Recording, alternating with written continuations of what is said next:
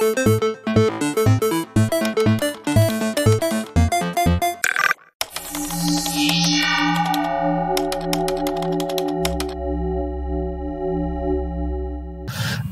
uh, the, the, talk that is about to begin now is uh, by Christoph Schmon from EFF and Eliška Pirkova from Access Now. And they will be talking about which probably may be the biggest legislative initiative since the GDPR in Brussels. It's called the Digital Services Act. And on to you two.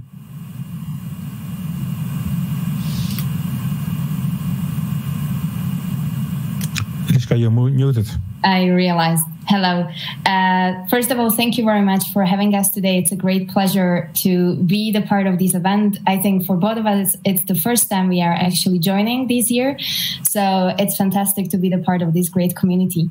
Um, and today we are going to talk about the legislative proposal, still a proposal, which caused a lot of uh, noise all around Europe, but not only in Europe, but also beyond.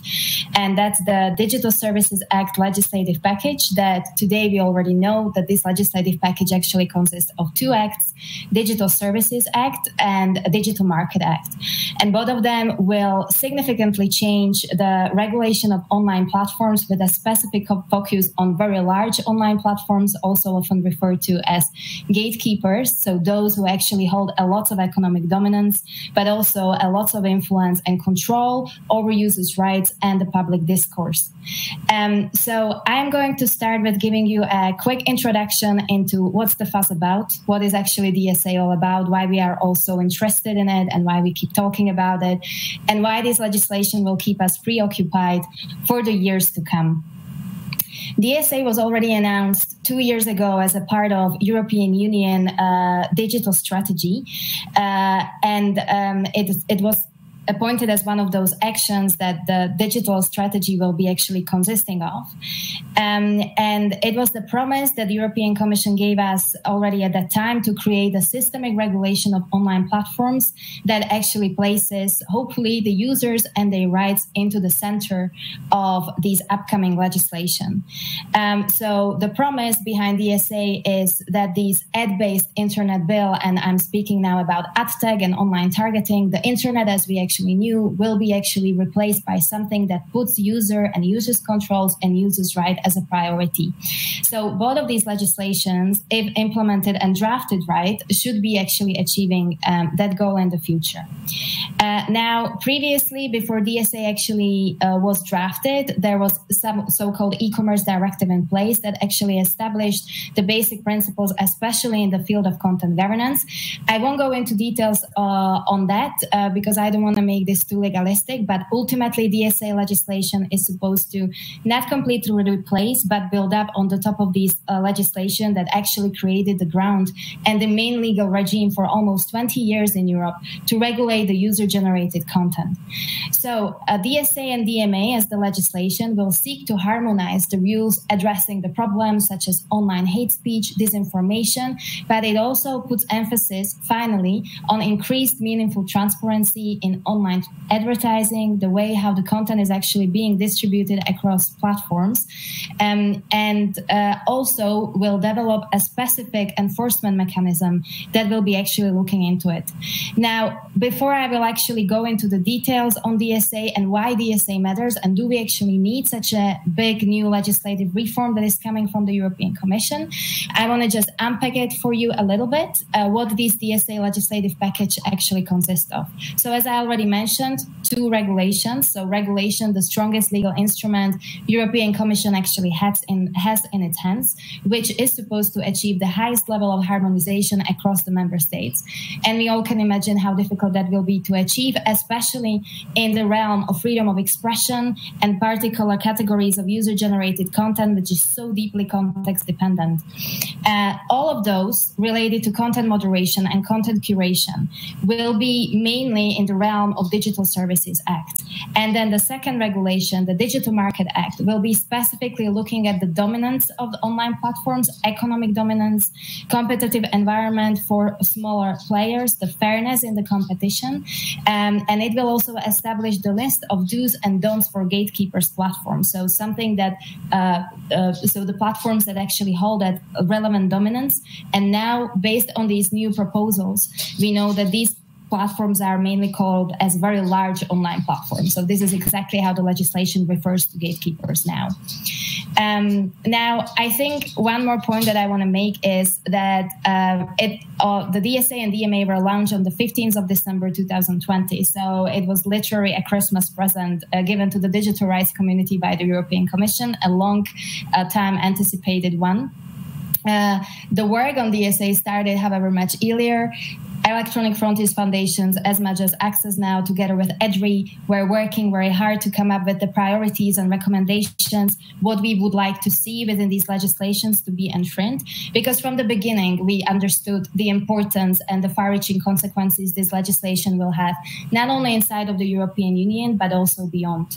And that brings me to the final introductory point that I want to make before I will hand over to Chris, which is why and do we actually need the DSA? We strongly believe that there is a big justification and good reason to actually establish a systemic regulation of online platforms in order to secure users' fundamental rights empower them and also to protect our democratic discourse.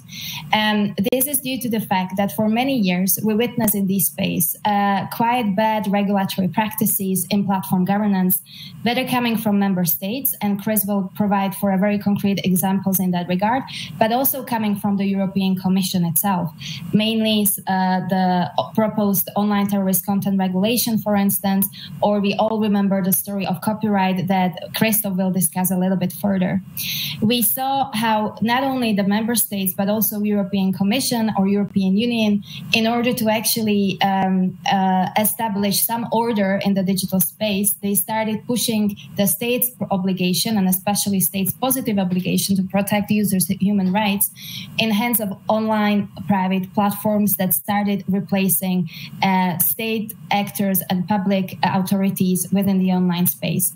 They started assessing the content, the legality of the content, deciding under very short time frames what should stay online and what should go offline, with no public scrutiny or transparency about practices that they kept deploying and they keep deploying to this day.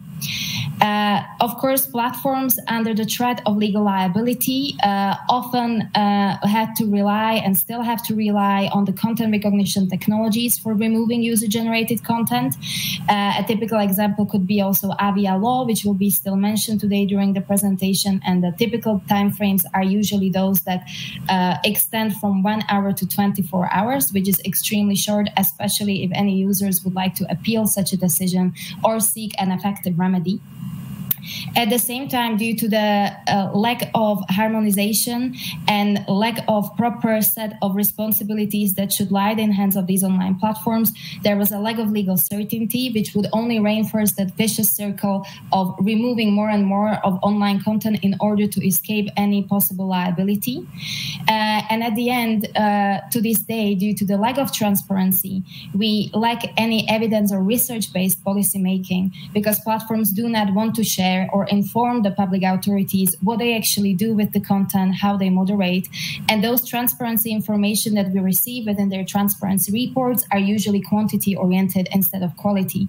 So they focus on how much content is actually being removed and how fast, which is not enough in order to create laws that can actually provide any more sustainable solutions. And ultimately, as we all agree, um, the core issue doesn't lie that much with how the content is being moderated but how content is being distributed across platforms um, within the core of their business models that actually stands on a on a attention economy and on a way how sensational content is often being uh, amplified in order to actually prolong that attention span of users that visit platforms on regular basis. I'm, I'm unpacking quite a few issues here, uh, and this is supposed to be just a quick introductory remark. Uh, I will now hand over to Christoph, who will elaborate on all these points a little bit further, and then we take a look and unpack a few quite important parts of DSA that we feel should be prioritized in this debate at the moment. Chris, over to you. Thanks, Eliska, and hi, everybody. Um, I'm quite sure that many of you have noticed that there's a growing appetite from the side of the European Union to regulate the internet by using online platforms as their helping hands to monitor and censor what users can say, share, or do online. Um, as you see on the slide, the first highlight of this growing appetite was copyright upload filters, which are supposed to spot copyright protected content online. Thousands of people, old and young, went on the streets to demonstrate for a free internet and to demonstrate against technical measures to turn the internet into some sort of censorship machine. We've made a point then, and we continue making the point now that upload filters are prone to error, that upload filters cannot understand context, that they are unaffordable by all but the largest tech companies, and which happen to be all based in the United States. But as you well know, um, policymakers would not listen, and Article 13 of the Copyright Directive was adopted by a small, mar- small margin in the European Parliament.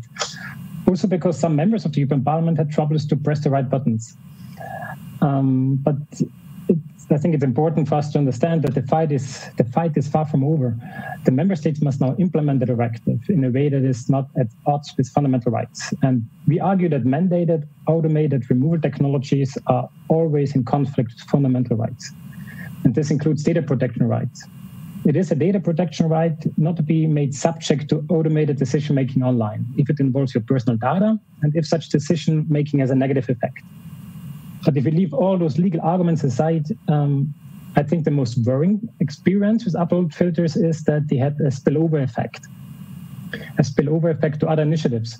Sure, if it works for copyright protected content, it may well work for other type of content, right? Um, except that it doesn't. Many consider it now a clever idea that platforms should proactively monitor and check all sorts of user content, may this be communication, pictures, or videos. And they should use filters to take it down or to filters to prevent the re-upload of such content. An example of such um, spillover effect, and Eliska had mentioned, is the EU draft regulation on terrorist-related content. It took a huge joint effort of civil society groups and some members of parliament um, to reject the worst of all text um, we had recent negotiations going on, and uh, at least we managed to get out the requirement to use upload filters, but uh, still a 24 hours removal obligation that may nudge platforms to uh, employ those filters nevertheless. Um, and we see that particularly national states are very fond of the idea that platforms, rather than independent judges, should be the new law enforcers. There are now several states in the European Union that have adopted laws that would either oblige or nudge platforms to monitor user speech online. First up was the German NetzDG, which, which set out systematic duties for platforms. Then we had the French Loi Avia, which copy-pasted the NetzDG and made it worse. And last, we have the Austrian hate speech bill, which is a mix of both the German and the French proposal. All go much beyond copyright content, but focus on hate speech and all sorts of content that may be considered problematic or illegal in, in those respective countries, not necessarily in other countries. And this brings me to the next problem. How do we deal with content that is illegal in one country but legal in another? Um, a recent Court of Justice ruling had confirmed that a court of a small state like Austria can order platforms not only to take down defamatory content globally, but also to take down identical or equivalent material using automated technologies. For us, it, this is a terrible outcome, as this will lead to a race to the bottom, bottom where the countries with the least freedom of speech friendly laws can superimpose their laws on every other state in the world. We really believe that all this nonsense has to stop it's time to acknowledge that the internet is a global space, a place of exchange of creativity, and a place where civil liberties are supposed to exist. So we are fighting now against all those national initiatives. We had a great first victory um, when we helped to bring down the French Loi Avia, the Avia bill, um, that had imposed a duty for platforms to check and remove potentially potentially illegal content within 24 hours.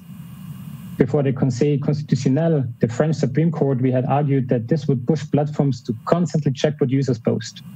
And if platforms face high fines, um, of course, they would be uh, rather motivated to block as much contestable content as possible. We've made a point um, that this would be against the Charter of Fundamental Rights, including freedom of information and freedom of expression.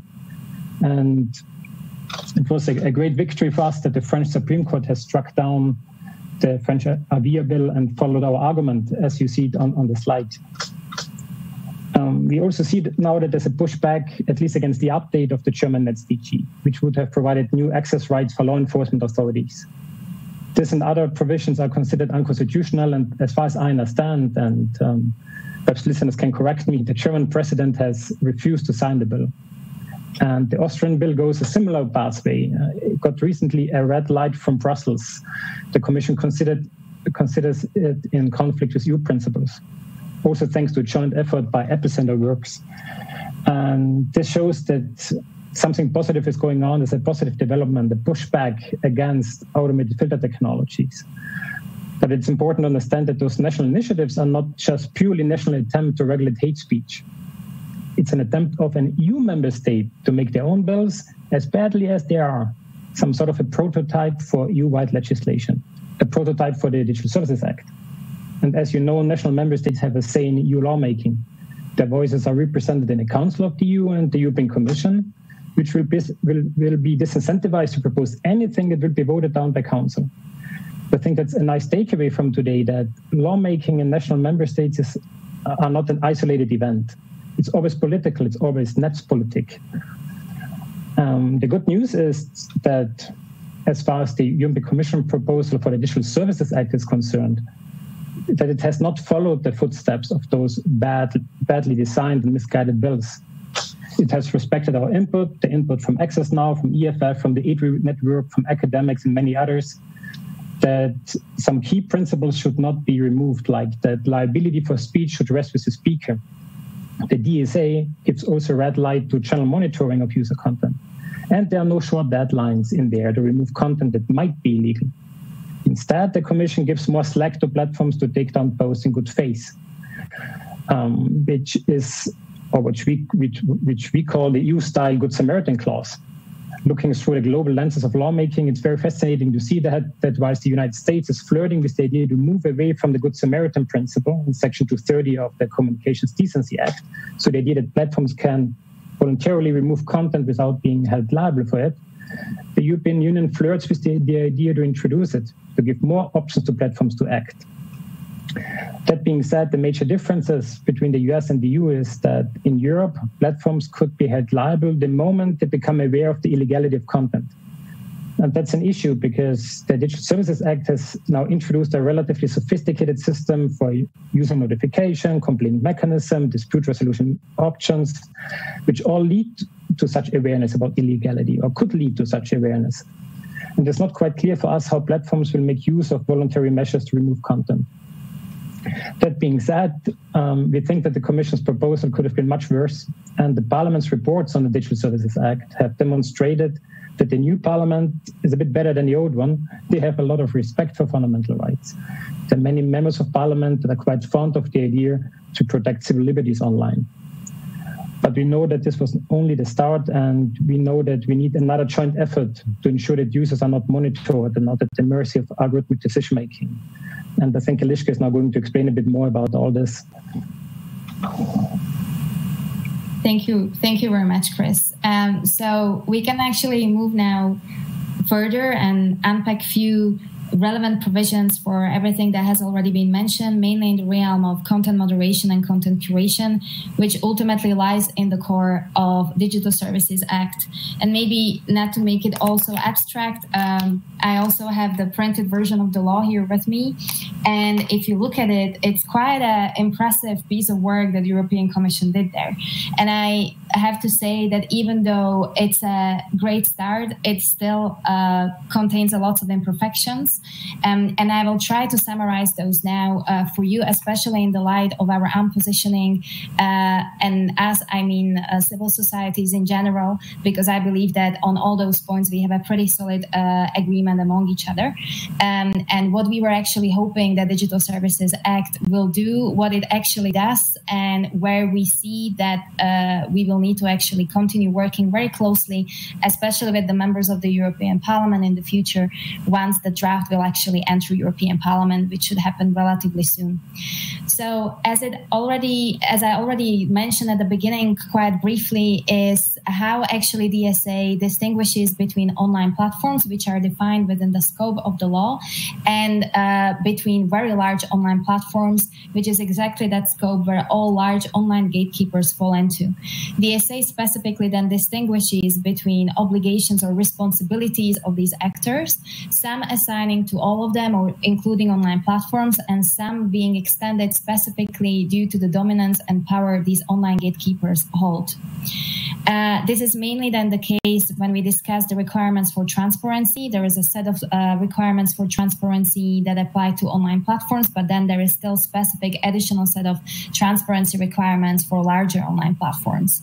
What DSA does, especially, and this is the bit which is extremely relevant for the content moderation practices, it attempts to establish a harmonized model for notice and action procedure for allegedly illegal content. One of our red lines, before I go into the details on this, uh, was that DSA will be touching only uh, or trying to regulate only allegedly illegal content and stay away from vaguely defined content categories such as potentially harmful but legal content.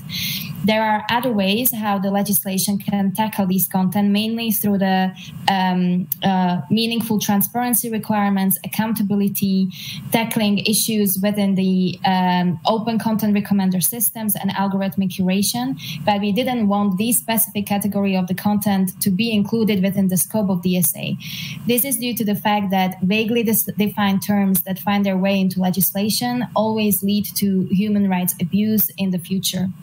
I could give you examples from Europe, such as the concept of online harms within the UK, but also as a global organizations, both of us, we actually often see how vague terminology can quickly lead to even overcriminalization of speech or suppressing the decent. Now, if we go back to harmonized notice and action procedure, what that actually means in practice, as Christoph already mentioned, Europe has so-called conditional model of intermediary liability, which is being provided uh, already and established by the initial legal regime, which is the e-commerce directive under Article 14 of the e-commerce directive, which actually uh, states that um, unless the platform holds the actual knowledge, and according to the wording of DSA now, it's the actual knowledge or awareness about the presence of illegal content on their platform, uh, they cannot be held liable for such a content. Now, we were asking for a harmonized procedure regarding notice and action across the EU for a while precisely because we wanted to see reinforced legal certainty. Lack of legal certainty often translated into over removal of even legitimate content from the platforms with no public scrutiny.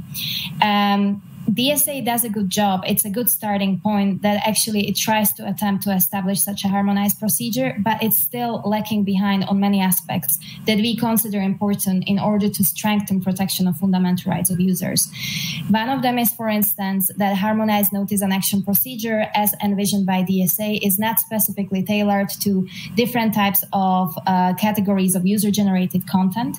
And as we know, uh, there are some or many categories of content that are deeply context dependent, linked to the uh, historical and socio-political context of member state in question, um, and due to their of, uh, due to their reliance on automated measures that are usually context blind, we are worried that if notice and action doesn't reflect this aspect in any further ways, uh, we will end up again with over removals of the content. Um, what is probably another huge issue that we are currently lacking in the draft, even though DSA is trying to create a proper appeal appeal and enforcement mechanisms, um, and also uh, appeal mechanisms for users and different alternative dispute settlement that the law draft currently contains. There is no possibility for um, uh, content providers, so a user that uploads the filter. Uh, sorry, that was a nice uh, Freudian slip there.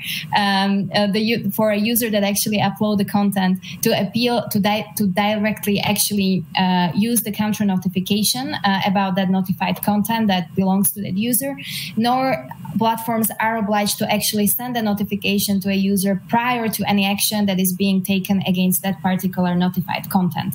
These are for us a, a procedural safeguards for fairness that users should have, and currently they are not being reflected in the draft. Um, however, this is a good start. Um, it's something that we were pushing for, but I think there are many more aspects that these notice and action procedures will need to contain in order to truly put users at first. Uh, now, the notice and action procedure is mainly focusing on the illegal content, but there are ways in the draft where potentially harmful content, which is still legal, so the content that actually violates the terms of service of platforms, is being mentioned throughout the draft. So for us, it's not at the moment exactly clear how that will work in practice. Uh, so that's why uh, we uh, we often use this phrase that is also uh, put on the slide: "good intention with imperfect solutions." Uh, however, I want to emphasize again that this is just the beginning, and we will still have time and space to work very hard on this. another kind of novel aspect that DSA actually brings about is already mentioned Good Samaritan clause, and I tend to call it the EU model or EU version of Good Samaritan clause. Good Good Samaritan clause originates in Section 230 of Communication Decency Act, as Christoph already mentioned. But uh, within the European realm, it goes hand in hand with this conditional model of liability, which is being preserved within the DSA uh, legal draft. That was also one of our main asks to preserve this conditional model of liability. And it's great that this time European Commission really listened. Uh, why we consider the Good Samaritan clause being important? Uh, in the past, when such a security wasn't enshrined in the law, uh, but it was just somehow vaguely promised to the Commission that if the platform will proactively, uh, you know, uh, deploy measures uh, to fight against the spread of illegal content, they won't be held liable, without acknowledging that through such use of so-called proactive measures, the platform could, in theory, gain the actual knowledge about the existence of such a type of content on its platform, which would immediately trigger legal liability. This threat of liability often pushed platforms to the corner, so they would rather remove the content very quickly than to face uh, more serious consequences later on. Uh, that's why we see the importance within the Good Samaritan clause or the European model of Good Samaritan clause, and we are glad that it's currently being the part of the draft. One of the biggest downfalls, or one of the biggest uh, disappointments when DSA finally uh, came out on uh, 15th of December for us was to see that it's still online platforms that will remain in charge when it comes to assessing the legality of the content and deciding what content should be actually restricted and removed from a platform and what should be available. Um, we often emphasize that it's very important that uh, the legality of the content is being uh, assessed by the independent judicial authorities as in line with the rule of law principles. We also do understand that that such a solution creates a big burden on the uh, judicial structure of member states. Many member states see that as a very expensive solution. They don't always want to create a special network of courts or e-courts or other uh, forms of uh, judicial review of the illegal or allegedly illegal content, but we still uh, wanted to see more public scrutiny because for us, this is truly just the reaffirmation of already existing status quo, as at the moment, under many jurisdictions within the EU and in the EU itself, it's still online platform that will call the final shots. Uh, what, on the other hand, is a positive outcome that we will also hardly pushing for are uh, the requirements for meaningful transparency. So to understand better uh, what platforms actually do with the individual pieces of content that are being shared on these platforms, um, and how actually transparency can then ultimately empower user. Now, I want to emphasize this because this is still ongoing debate, uh, and we will touch upon those issues in a minute. But uh, we don't see transparency as a silver bullet uh, to the issues such as uh, amplification of uh, potentially harmful content, or in general, that transparency will be enough to actually hold platforms accountable. Absolutely not. It will never be enough, but it's a, a precondition for us to actually seek such solutions uh, in the future. DSA contains specific requirements for transparency, as I already mentioned, a set of requirements that will be applic- applicable largely to all online platforms, and then still specific set of requirements on the top of it that will be applicable only to very large online platforms, so the online gatekeepers. We appreciate the effort. We see that the list is very promising, uh, but we still think it could be more ambitious. Both uh, EFF and Access Now put forward a specific set of requirements for meaningful transparency that are in our positions, and so did EDRI and other uh, civil society or digital rights activists in this space. Um, and final point that I'm going to make is the so-called Pandora box of online targeting and recommender systems. Why do I refer to these two as Pandora box? When uh, European Parliament published its uh, uh, initiative reports on DSA. There are two reports, one being uh, tabled by JURI committee and another one, another one by IMCO. Especially the JURI report contained paragraph 17, which calls out for a better regulation of online targeting and online advertisement, and specifically calling for a ban of online targeting and including the phase out that will then lead to a ban. We supported this uh, paragraph, which at the end was voted for and is the part of the final final report. Nevertheless, we also do understand that this wording of the article has to be more nuanced in the future. Uh, before I go into the details there, I just want to say that this part has never made it to the DSA. So there is no ban on online targeting or online advertisement of any sort, which to us, to some extent, it was certainly disappointing too. We uh, specifically would call for a much more stricter approach when it comes to behavioral targeting as well as uh, cross site tracking of online users. Um, but unfortunately, and as we eventually also heard from Commissioner Vestager, that was simply lack of will or maybe mm, too much pressure from other lobbyists in Brussels. And this provision never found its way uh, to the final draft of the DSA. That's the current uh, state of art. We will see what we will manage to achieve once the, the DSA will enter the European Parliament. Um, and finally, uh, the law also contains a specific a provision on recommender systems. So uh, the way how the content is being distributed uh, across platform and uh, how the data of users are being abused uh, for such a distribution and personalization of user-generated content. Um, in both cases, whether it's online targeting and recommender systems within the DSA, the DSA goes as far as the transparency requirements, the explainability, uh, but it does very little for returning that control and empowerment back to the user. So how use whether user can opt in or opt out from these algorithmic curation models, uh, how it can actually optimize if they decide to optimize it.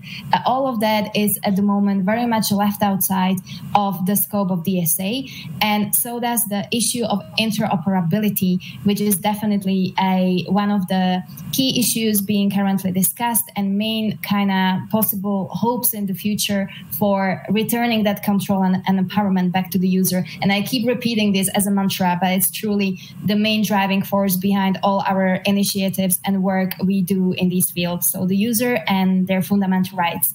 And on that note, I would like to hand over back to Chris, who will explain the issue of interoperability and how to actually empower you as a user and to strengthen the protection of fundamental rights further. Chris, it's yours now.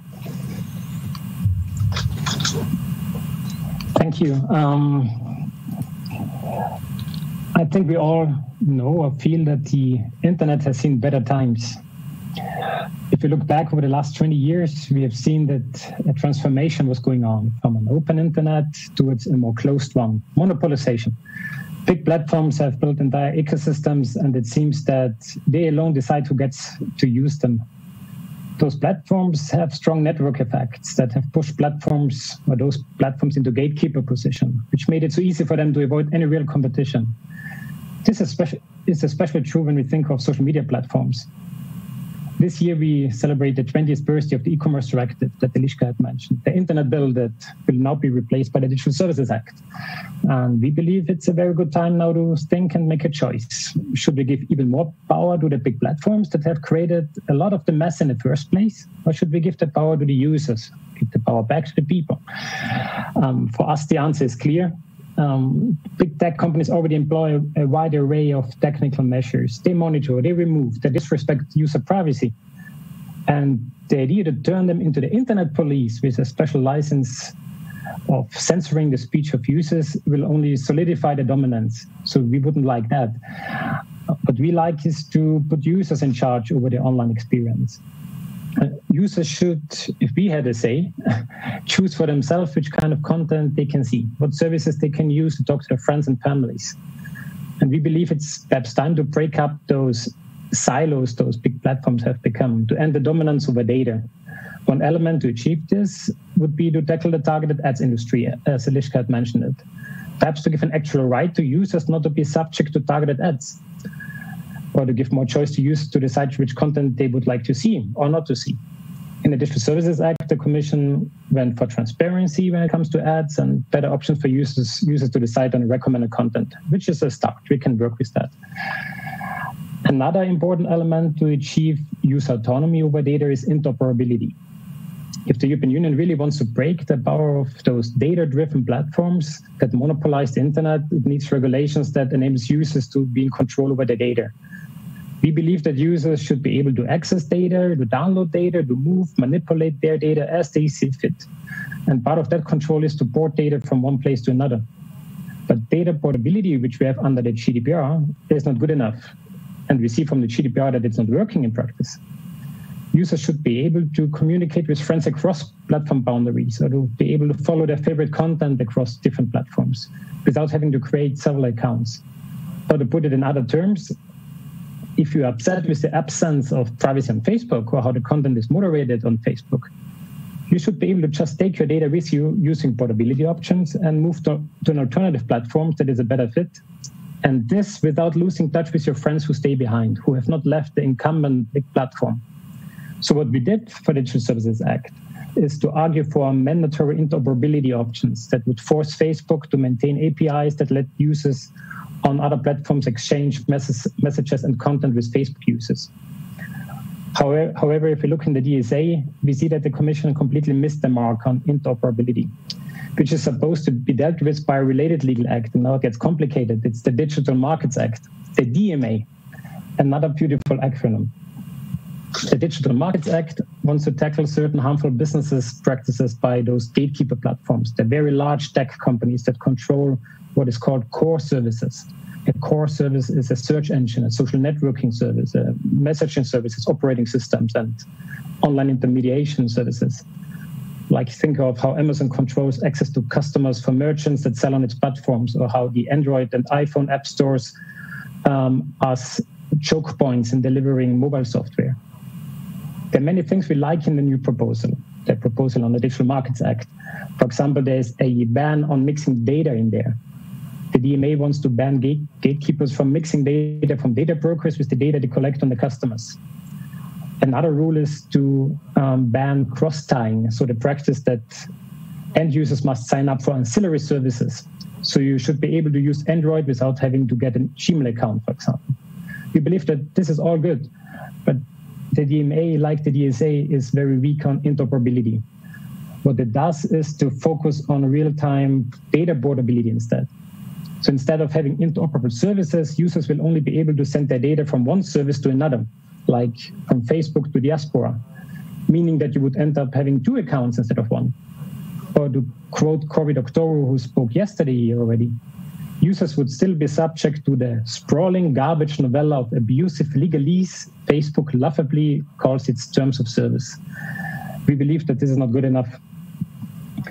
Um, and the last slide, you see a a quote from Margrethe Vestager, um, who made a very good statement last month that we need trust versus services, fair use of data, and free speech and an interoperable internet. We fully agree on that. And in the next months and years, we will work on this to actually happen. However, you can imagine it will not be easy. We already see that European Union member states uh, follow the trend that platforms should systematically check undesirable and insightful content and share those data with enforcement authorities, which is even worse we see an international trend going on to move away from the immunity of platform for user content towards a more active stance of those platforms. And we see that recent terror, terror attacks have fueled ideas that monitoring is a good idea and that end-to-end encryption is a problem. So whatever will be the result, you can bet that the European Union will want to make the Digital Services Act and the Digital Markets Act um, another export model. So this time we want to have the numbers right in the Parliament and the Council and we want to help members of parliament to press the right buttons. And for all this, we will need your help, even if it means to learn yet another acronym or several acronyms after the GDPR. Um, and that's it from our side. We are looking forward to the discussion. Thank you.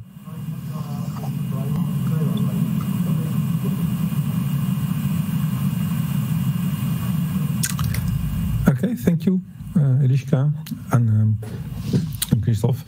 Um, there are questions from the internet, and uh, the, the, the first one is basically uh, we just had, uh, and as you mentioned uh, in your slides, uh, Christoph, the, uh, copyright in the digital single market, which with both accountability and um, li liability provisions. you also briefly mentioned TERC.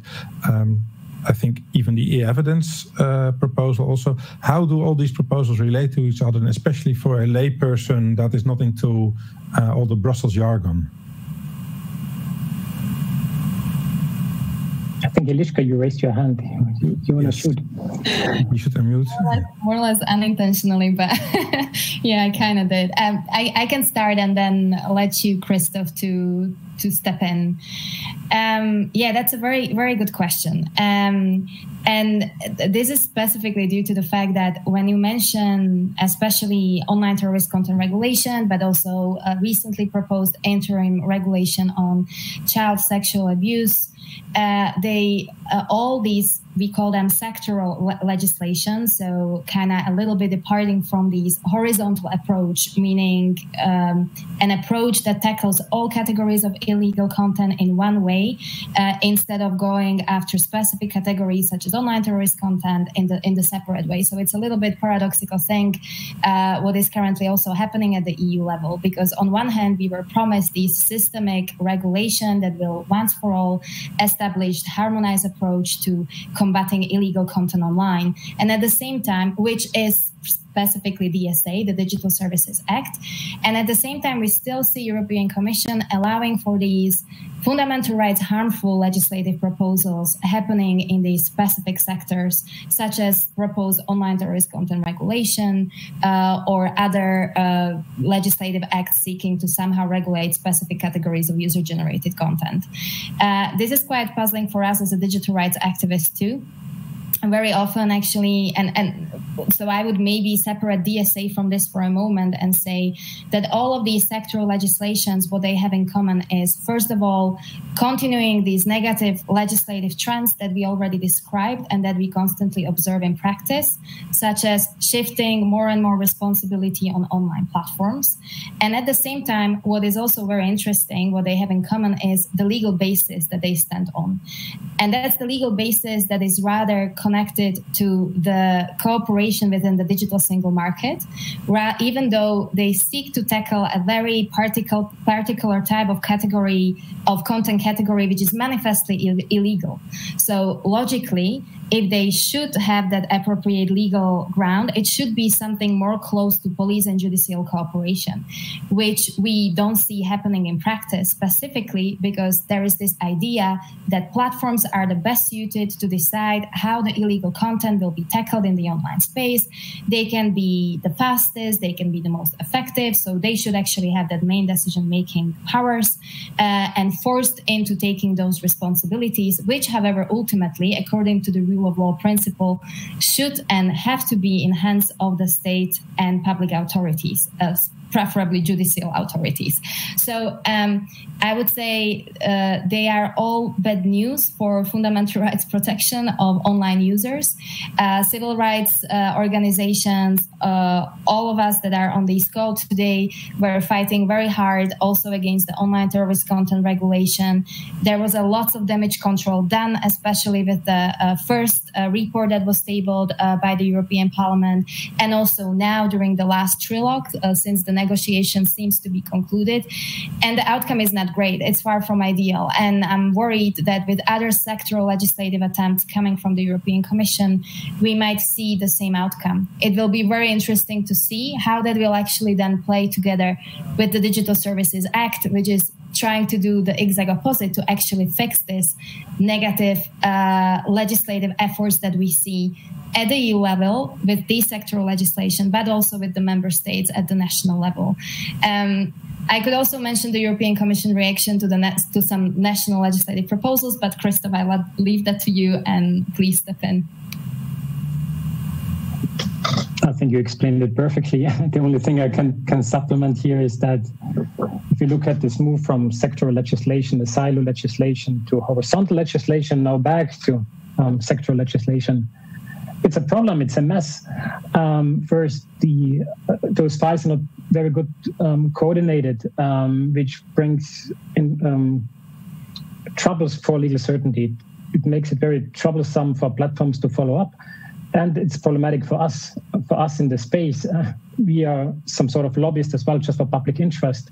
But if we have to deal with copyright, with CSAM, with TERREG, with end-to-end encryption, DSA, DMA, and 15 other files that will pop up, content by content, it's very hard to manage to have the capacity ready to be early in the debate and it's so important to be early in the debate to prevent the worst from happening and i think that's a huge challenge for us so that's perhaps something for us to reflect in the next days how can we join forces better in a more systematic way in order to really follow up on all those initiatives and that's for me a, a very problematic development so in summary it's a, it's a mess uh, so it is related, but we can't explain how because it's such a mess. Fair enough. I have another question for you, Eliška. Um, that is, um, um, someone was asking how the proposed Good Samaritan clause works compared to how it currently works in Germany. Um, but I think it's a bit unreasonable to expect everyone to know how it works in Germany. Um, I would rephrase it as how does this proposed Good Samaritan clause work uh, compared to how it is now under the e-commerce directive? Thank you very much. Um, yeah, so uh, great question again. I think the first, uh, if we if we put it into the context of the EU law, and apologies that I cannot really answer how you know compare the German context. I really don't dare to. I'm not a German lawyer, so I wouldn't like to step those waters. But um, first of all, there is no Good Samaritan clause per se within the scope of e-commerce directive. It did not really exist within the and I'm using the, the past sentence now because DSA is trying to change that. So that level of legal certainty was not really, really there for the platforms. Uh, there was the conditional model of the liability, which is still preserved within the regulation. But the, if we think of Good Samaritan clause as we know it from the section 230, or let's use that Good Samaritan clause as an example, because also e-commerce directive was actually drafted as a response to Communication Decency Act. That was the legislation that puts things into motions. Um, um, so that's the that's the first ultimate point. Um, I explained at the beginning in my presentation uh, what was then happening in the space of combating illegal content at the EU level, um, and especially I would refer to the communication that the European Commission published, I think, back in 2018, uh, where it actually encouraged and called on online platforms to proactively engage with uh, illegal content um, and use these proactive measures to actually seek an adequate responses to, le- to illegal content. Now, to mix that with this conditional model of liability, uh, which is of course defined by the obtaining actual knowledge by the platform, that created a perfect storm that I already explained. So the platforms knew that they are kind of pushed by the legislator to actually seek these active responses to illegal content, often deploying automated measures, but they didn't have any legal certainty or security on their side that if they do so, they won't end up ultimately being held legally liable and face legal consequences as a result of obtaining actual knowledge through those proactive measures that were kind of the, the tool how they could possibly actually obtain that knowledge. Um, now, uh, what DSA does, it specifically actually simply states and I think it's Article 6 in the Digital Services Act, if I'm not mistaken, and I can even open it. It specifically basically says that, that platforms can uh, use these proactive measures or you know uh, continue um, using some tools that uh, actually uh, seek to provide some responses to this type of content without the fear of being held liable. So it's a, it's an article which has approximately I think two paragraphs, um, but it's finally in the legislation, and that means that it will help to reinforce the level of legal certainty. I would also emphasize that very often in Europe, when we discuss Good Samaritan clause, and Good Samaritan is actually a very unfortunate term uh, because it's very much connected to the American legal uh, tradition. Uh, but when it's being mixed up with the conditional model of liability and with the prohibition of general monitoring, which is still upheld, and these are the main principles of the European intermediary liability law and the regime that is applicable within the EU, uh, such a safeguard can be actually beneficial and it won't lead, hopefully, to these blanket, blanket immunity for online platforms or to this idea that platforms will be able to do whatever they want with the illegal content without any public scrutiny, because there are other measures, safeguards, and principles in place as a part of conditional model of liability that we have here in Europe. Um, so I'm sorry, maybe that was too complicated legalistic explanation there, um, but this how this is how these provisions should work in practice. We of course have to wait uh, for the implementation of the law and see how that will turn out. Uh, but the main purpose is that this legal certainty that was lacking until now can finally come to its existence, which should help us to prevent over removal of legitimate speech from online platforms. Okay, thank you. Um, I have two other questions from the internet uh, about interoperability, and I suppose I should look at, uh, at Christoph for them. Um, the the last one I'm going to ask first is would such interoperability make it much more difficult to, uh, to combat harassment and stalking on the internet? How do you police that kind of misbehavior if it's across uh, different platforms uh, who are forced to interoperate and also be conduits for such bad behavior? And uh, I'll, I'll come to the earlier question after you've answered this question, uh, Christoph. It's, it's a good question. Um, first, to understand our vision on interoperability um, is to understand that we want, would like to have it between platforms that are in power, large platforms, and the right of smaller platforms actually to um, make use of interoperability. So it should not be among the big platforms.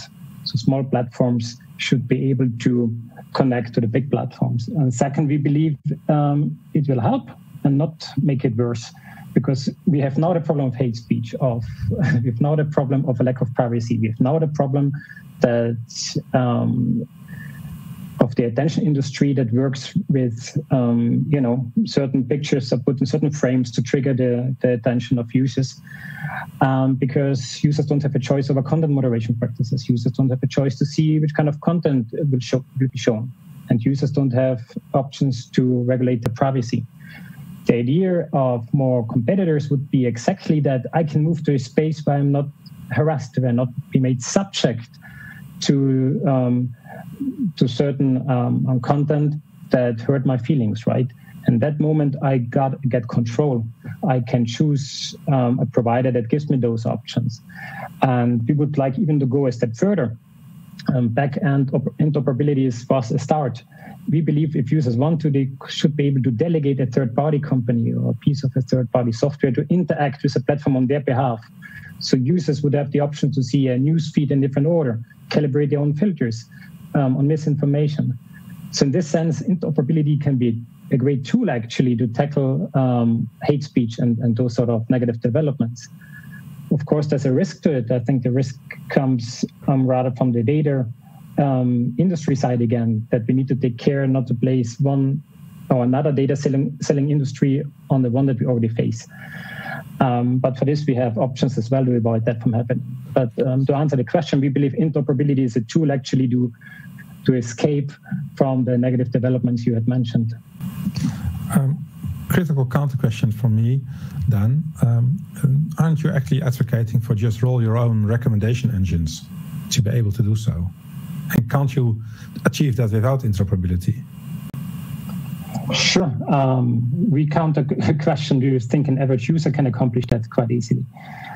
Um, you know, like when we look at the internet through the lenses of market competition, then we see that it is the dominance of platforms over data that have created those um, those spaces, those walled gardens where users have the feeling they're trapped and cannot escape from. And there are so many alternative options that cannot get off ground because users feel trapped, don't want to leave their friends behind, and don't have options actually to have a better moderation system. Of course, you can be creative and you know use plugins and whatever you see fit, but you need to stay within the platform barriers. What we would like to enable users is to actually leave the walled garden, go to another place, but still stay in touch with friends who have made a choice to remain there. And I think that's perhaps the difference to what you had in mind. I have a follow-up question. Well, another question from the internet regarding interoperability, uh, and that is, historically speaking, um, as soon as the big players get involved in setting standards, they tend to also shape policy uh, by being involved in that. Uh, how would that be different in the case of interoperability? And uh, it's specifically mentioned by the uh, the person who asked the question that Mastodon probably flourishes because nobody else was involved in setting that standard. Uh, it's an excellent question, and we we struggle with the question of standards ourselves. Um, in our policy paper, which is our recommendations for the European Union to enact um, certain provisions in the new Digital Services Act, um, we abstained from asking to um, establish new standards like API standards. We believe it's a bad idea to re- regulate technology like that. What we want to do is that big platforms just offer interoperability however they see fit. We don't want to have a standard that can be either again monopolized or um, lobbied by the big platforms, because then we end up with the standards we already see, which which we don't like. Um, but it's a good question, and um, what we did is with our policy principles on interoperability to give kind of a food for thought how we believe the end version should look like. Um, but there are many questions that remain, and we don't know exactly the way how to go there. Yeah, and I'm sorry, I'm sticking to the topic of interoperability because most questions are actually about that. One of the other questions is um, how do we prevent this from getting messed up like it happens with PSD2? And for the audience that don't know about PSD2, PSD2 is a directive that forced banks to open up their APIs to other financial service providers which is also inter- interoperability between platforms, in this case for banking platforms, which comes with all sorts of privacy questions that weren't completely thought through when that legislation came about. Sorry for having this long-winded interaction, Christoph, but I think it was needed for, for people that don't know what PSD2 means. It's a good question. Interestingly, we never use PSD2 or the Telecommunications Act because both have interoperability options as those negative examples. We always use it as examples that, hey, it's already possible. So you don't have an excuse to say it's impossible to put it in the law. What is true is that there's a lot of mess around it. And the question of how to avoid the mess is a question of um, let's politic again. Um, so the question of whether policymakers are actually listening listening to us or listening to industry lobbyists. So the the one who raised the question is absolutely right. There's a huge risk for every topic we talk about, whether it's interoperability, whether it's user control over content um, and targeted ads, liability everything that we believe should be in a law, of course, could be hijacked, could be um, redesigned in a way that it will lead to more problems than fewer problems. Um, so, indeed, for every policy question we raise, we need to ask ourselves: Is it worth the fight? Do we risk opening the box of the Pandora? Do we make it worse? What we said is. Um, on that front, we are happy to make pressure. And what we need to do in the next years is to convince them that we are the right person to talk to. And that's perhaps a challenge how to make tech explicable to um, policymakers. So those who ask the questions, I think those should should help us to come to process to the parliament and tell MEPs how it's going to work. On that note, uh, question to both of you. Um, uh, you said citizen involvement. I prefer the term citizen over users. Um, would it be helpful to push for amendments in the parliament for at least the uh, um, the targeting uh, points you both mentioned before? And if so, how? So um, uh, I guess that I will start just so Christoph can uh, rest a little. Um, so the question was whether it would be useful to push for those amendments. Was that correct? For, for amendments that cover targeting of of, uh, of citizens.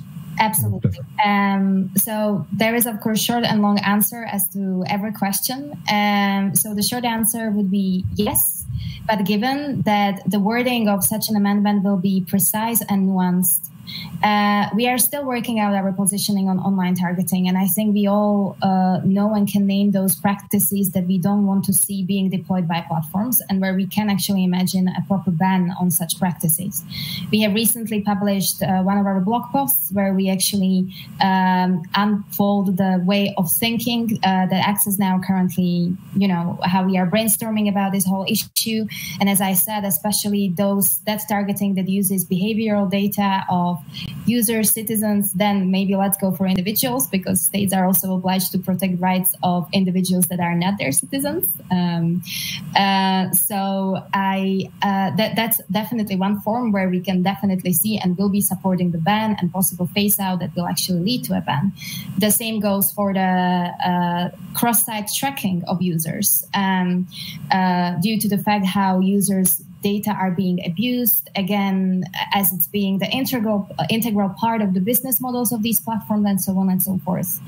Um, so that's one of the direction we will be definitely taking. And again uh, we are inviting all of you to help us out uh, to brainstorm together with us to uh, assess different options directions that we should take into consideration and not to forget about.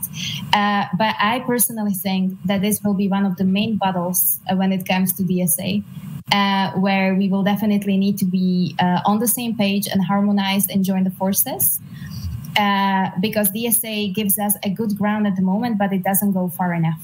Um, so, uh, yes, definitely, the answer is yes. But given that we will have a very nuanced position, so we know what we are asking for, and we are taking into consideration also those other aspects that could eventually play out uh, badly in practice. So, good intentions are not enough when it comes to DSA. Thank you.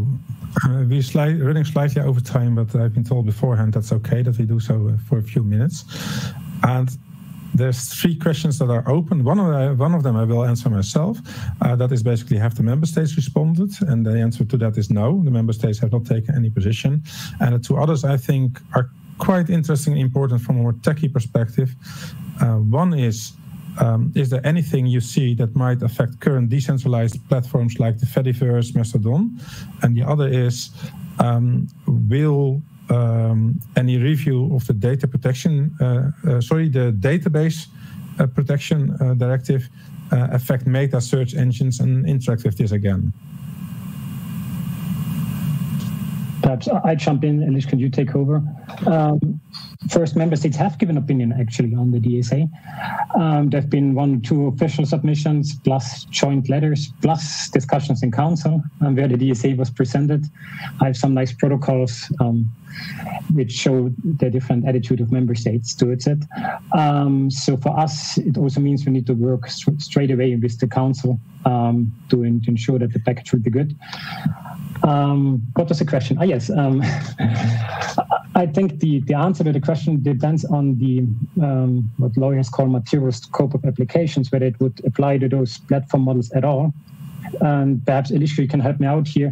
We have always criticized for the e-commerce directive that it was not quite clear how it would relate to first non-for-profit um, platforms, and many of those alternative platforms are like that, because there was this issue of providing a service against remuneration, and it was not quite clear what it means. Would it apply to Wikipedia if you get like donation? Would it apply to a blogger if you have like pop-ups of, of uh, you know ads or something like that? So that's I think one huge question. And the second question is, in as much those new due diligence obligation um, would force alternative platforms um, governance models to redesign the interfaces. And those are open questions for us. We have not analyzed that in detail, but we see that we have we are worried that it would not only impact the large platforms, but many others as well. Um, what do you think, Eliška? Yeah, I can I can only agree. Um, especially regarding the nonprofit question, um, yeah, this is also or was and always been one of our main asks for nonprofit organizations. Um, and actually, it's not quite clear how that will play out now in practice with the way how DSA is standing, because at the moment it actually speaks about online platforms and then it speaks about very large online platforms.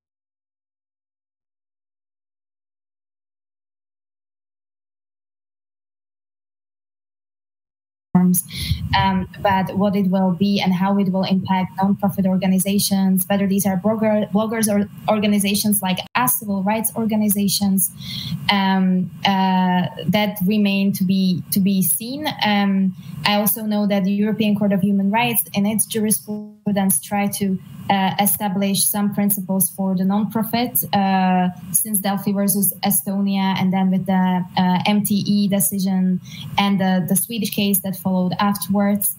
Um, but I'm not sure how well it was actually elaborated later on. Um, but this is something we will be definitely looking at and working on further. Um, and regarding the impact on the smaller players and the also um, the the interface idea, this is still something we are actually also wondering about um, and thinking how this will turn out in practice. And um, we are hoping to actually develop uh, our positioning further on these issues as well, because um, we actually started working, all of us, uh, on DSA and on our recommendations already, I think, a year ago, maybe a year and a half ago, uh, when we were working just with the leaks that Politico or other uh, media platforms in Brussels were actually sharing with us. And we were working with the bits and pieces and trying to put our thinking together.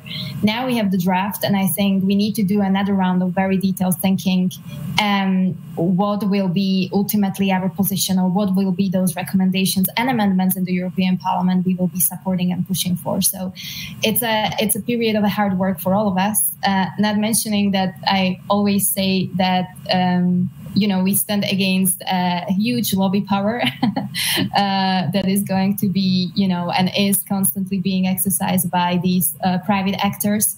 Um, but I also have to say that we had a very good cooperation with the European Commission throughout the process, and I think that I can say that on behalf of all of us, that we feel that European Commission really listened this time. So, um, yeah, more question marks than answers here from me, I think that's okay with me. Uh, not knowing something is fine. I think we uh, definitely ran out of time. Thank you both for being here, and uh, well, um, enjoy the uh, the 2D uh, online world uh, as a congress. Thank you. Um, that wraps it up, the session up for us. Thank you all. Thank you very much. Bye.